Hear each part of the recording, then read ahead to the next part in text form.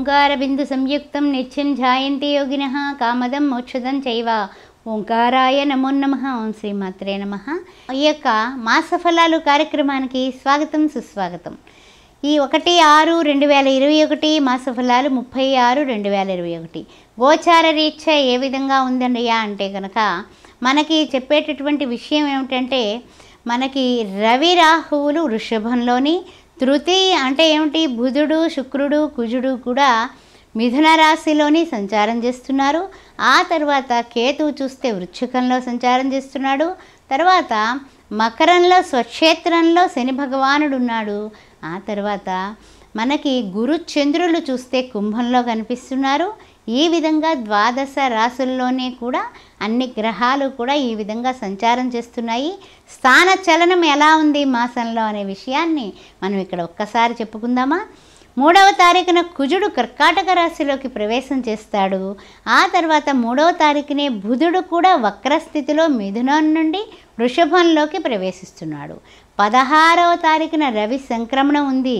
ఆ రవి సంక్రమణం ఎలా ఉంది అంటే కనుక మిథున రాశిలోకి వృషభం నుంచి మిథునంలోకి రవి సంక్రమణం పదహారవ తారీఖున ఉంది. అదేవిధంగా ఇరవై మూడవ తారీఖున ఈ మాసంలో ఉన్నటువంటి ముఖ్యమైన విషయం ఏమిటంటే శుక్రుడు కూడా స్థాన చలనం ఉంది. ఆయన కూడా కర్కాటక రాశిలోకి ప్రవేశం చేస్తున్నాడు. మూడవ తారీఖున కుజుడు స్థాన చలనం. ఆ తర్వాత బుధుడు మూడవ తారీఖున వక్రస్థితిలో వృషభంలోకి పదహారున రవి స్థాన చలనం. ఆ తర్వాత ఇరవై మూడున శుక్రుడు. ఈ విధంగా ఈ మాసంలో ఈ విధమైనటువంటి గ్రహ సంచారంలో మార్పులు మనకి గోచారంలో కనపడుతున్నాయి. అయితే ఇప్పుడు మనము ఏ విధంగా ఈ యొక్క పన్నెండు రాసుల వారికి ఉండబోతోంది అనే విషయాన్ని లోకి మనం వెళదాం. కన్యారాశి వారికి గోచార రీత్యా మా యొక్క ఒకటి ఆరు రెండు వేల ఇరవై ఒకటి మాస ఫలాలకి స్వాగతం సుస్వాగతం.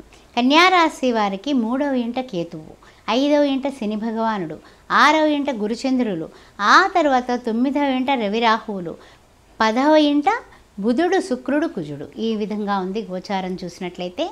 అయితే వీరికి ఏ విధంగా ఉండబోతోంది అనే విషయాన్ని మనం ఆలోచించినట్లయితే కనుక సర్వత్రా కూడా కొన్ని కొన్ని మిశ్రమ ఫలితాలే కనిపిస్తున్నాయి. అయితే ఏమిటి అంటే కనుక శుభకార్యాలకి మంచిగానే హాజరవుతారు చాలా బాగానే విందు భోజనాలు చేస్తారు. అయినప్పటికీ కూడా మనకి అన్ని విధాల అన్ని అన్ని రకాలుగానే అందరూ కూడా కలిసి వస్తారు అనుకోవడానికి వీల్లేదు. కారణం ఏమిటంటే కనుక సమ్మకు తగినటువంటి ఫలితాలు ఉన్నప్పటికీ కూడా కొన్ని కొన్ని విషయాలలో అధికారుల చేత ఏర్పడిన ఒత్తిడుల వలన మీకు చాలా ఇబ్బందులు కలిగేటటువంటి అవకాశాలు ఉన్నాయి ఎంత కష్టపడినప్పటికీ కూడా ఎవ్వరూ కూడా నన్ను గుర్తించడం లేదు. నేను ప్రణాళికాబద్ధంగా చేసుకుబడుతున్నాను. ఏ ప్రణాళిక లేకుండా అడ్డదిడ్డంగా చేసే వాళ్ళకి మంచి గుర్తింపులు వస్తున్నాయి అని మీరు విచారించేటటువంటి అవకాశాలు ఈ మాసంలో గోచారంలో కనిపిస్తున్నాయి. అయితే ఏంటంటే బంధుమిత్రులు కొందరు విమర్శిస్తారు కొందరు సహకరిస్తారు. ఎవరు ఏమిటా అని తెలుసుకునేలోగా మనకి చాలా వరకు కాలం గడిచిపోతుంది. అందువలన కొంచెం జాగ్రత్తగా ముందు నుంచే కూడా ఆచితూచి వ్యవహారం చేసుకుంటే గొడవ లేకుండా ఉంటుంది అనే విషయాన్ని మీరు గుర్తుంచుకోండి. ఆ తర్వాత ఇంకా ముఖ్యంగా ఏంటంటే శ్రమాధిక్య అంటే శ్రమ బాగా కష్టపడితే అన్ని పనులు అవుతాయండి. లేకపోతే కనుక పనులు అలా వెళ్ళి ఇలా చేసుకొచ్చేద్దాం అంటే కనుక కావు. కారణం ఏమిటంటే కనుక ఈ వీసా లాంటి ప్రయత్నాలు అయితే కనుక కొంచెం ముందుకు ఉపయుక్తంగా ఉన్నాయి విజయవంతంగా ముందుకు వెళ్తాయి. అందువల్ల ఆ ప్రయత్నాలు అయితే గట్టిగా చేయండి. ఆ తర్వాత ఖర్చులకు తగినటువంటి ప్రయోజనాలు అంటే ఏమిటంటే ఖర్చులు చూస్తే ఎక్కువగా ఉన్నాయి. మనకి ఖర్చులకు తగినటువంటి ఆర్థిక పరిస్థితులు కొంచెం తక్కువగా కనిపిస్తున్నాయి. ఇస్తాము అన్న వాళ్ళు మన దగ్గర తీసుకున్న వాళ్ళు సమయానికి ఇవ్వకపోవడం వల్ల మనం ఇబ్బందులు పడేటటువంటి అవకాశాలు కనిపిస్తున్నాయి. అయితే ముఖ్యంగా ఏమిటంటే కనుక ఎవరికైనా పోనీ పెద్దవాళ్ళకి నాయకులకి లేకపోతే రాజకీయ నాయకులకు కానీ లేకపోతే మనకి తెలిసిన వాళ్ళకి కానీ పెద్దవాళ్ళకి చెప్పుకుంటే మన గోడు వాళ్ళు మనకి ఏంటంటే ఏమవుతుంది జరుగుతుంది అంటే మనం అపరాధం చేయకపోయినా సరే కలహాలు వచ్చేటటువంటి అవకాశాలు ఎక్కువగా ఉండడం వల్ల మన గోడు వినే నాథుడు కనిపించడు. అనే పరిస్థితులు కూడా ఉంటాయి. అందువల్ల ఏ విషయాన్నైనా సరే చాలా జాగ్రత్తగా మీకు మీరే భగవంతుడి మీద దైవారాధన మీద మీ ఇష్టదైవం మీద నమ్మకం ఉంచి ముందుకు వెళ్ళడం చెప్పదగిన సూచన.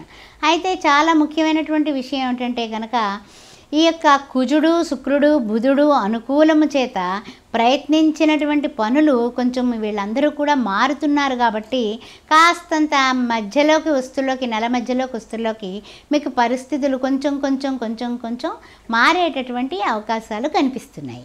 ఆ తర్వాత ఇంకా ముఖ్యమైనటువంటి విషయం ఏమిటంటే కనుక కుటుంబంలో హుషారుతనం ఇచ్చేటటువంటి సంఘటన ఒకటి చోటు చేసుకుంటుంది.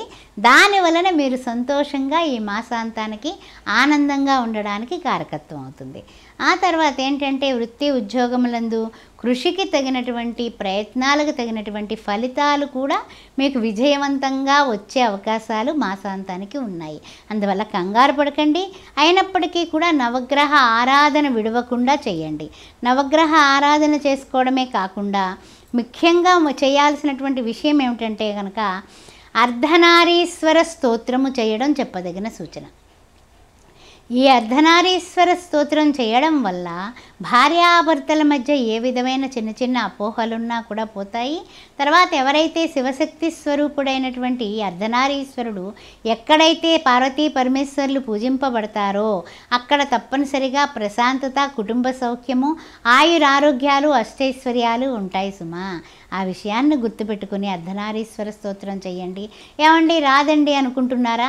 ప్రతిరోజు ఓం నమ శివాయ ఐదు సార్లు చేసుకోండి. ఓం శ్రీ మాత్రే నమ ఐదు సార్లు చేసుకోండి. చేసుకోండి. ఆ విధంగా చేసుకోవడం వల్ల కూడా అర్ధనారీశ్వర స్తోత్రం చెయ్యలేకపోయామనే బాధ మీకు వలదు. ప్రతిరోజు ఎవరికైనా మీ చేత్తో గుప్పెడ అన్నం పెట్టడం కానీ లేకపోతే ఎవరికైనా సరే మా ఏ చీమలకో పంచదార జిమ్మడం కానీ ఎవరికైనా పిల్లలకి బిస్కెట్లు చాక్లెట్లు కొనివ్వడం కానీ లేకపోతే గోమాతని ప్రతి గురువారం సందర్శించి ముమ్మారు ప్రదర్శనలు చేసుకుని గోగ్రాసం పెట్టడం కానీ చేసుకోవడం వల్ల ఈ యొక్క కన్యారాశి వారు ఉన్న స్థితి నుంచి ఉన్నత స్థితికి వెళ్ళి సకల అష్టైశ్వర్య ఆయురారోగ్యాలతో ఉంటారు. ఆ విషయాన్ని గుర్తుపెట్టుకోండి. తప్పనిసరిగా అన్నదానం మానకుండా ప్రతి సోమవారం ఇద్దరికి భోజనం పెట్టండి. సాయిరామ్. చూశారు కదా? మరి మీరందరూ కూడా నన్ను ప్రోత్సహించాలి అంటే కనుక ప్రతి వారం ప్రతిరోజు కూడా ఆస్ట్రో భాగ్యలక్ష్మి అనేటటువంటి ఈ ఛానల్ని మీరు సబ్స్క్రైబ్ చేసుకుంటే ప్రతిటా సాయంత్రము కూడా రకరకాల మంచి విషయాలతో వార ఫలాలు మాస ఫలాలు అదేవిధంగా శుభకరమైనటువంటి విషయాలతో మీ యొక్క మొబైల్లోకి తప్పనిసరిగా ఆస్ట్రో భాగ్యలక్ష్మి ద్వారా నేను అన్ని విషయాలతోటి వస్తాను వచ్చి మీతో పంచుకుంటాను. మరి సబ్స్క్రైబ్ చేస్తారు కదా? నమస్కారం.